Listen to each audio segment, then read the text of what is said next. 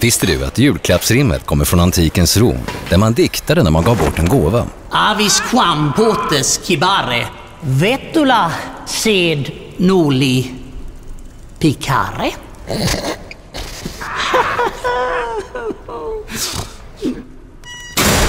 För bättre sätt att kommunicera och mängder av julklappstips, välkommen till oss på Telenor.